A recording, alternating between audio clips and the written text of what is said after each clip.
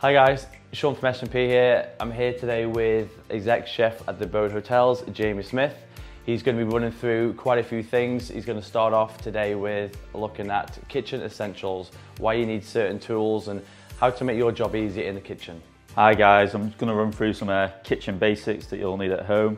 So most importantly you need at least one knife or I tend to use three different knives but one good knife all rounder is good. Uh, a speed peeler is very important. Obviously, if you want to cook quick meals, you need to peel vegetables quick.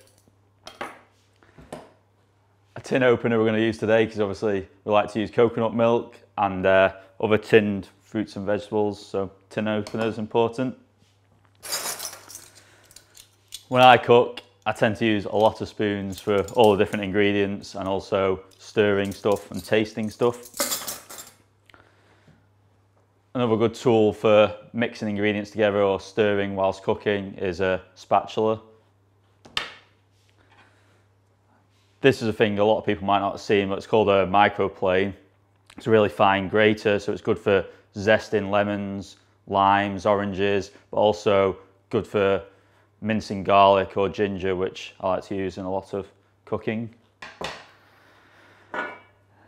non-stick baking sheet, again another good tool because Bacon's quite a healthy way of cooking and obviously if it's non-stick then your stuff won't stick to the tray.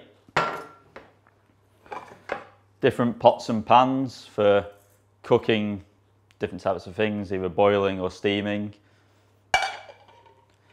And then a non-stick frying pan.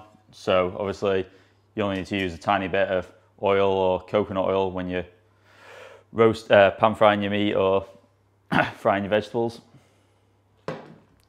And another tool I like to use is a char grill pan as you, you don't tend to require any uh, fats to cook on it and again can make it quite healthy.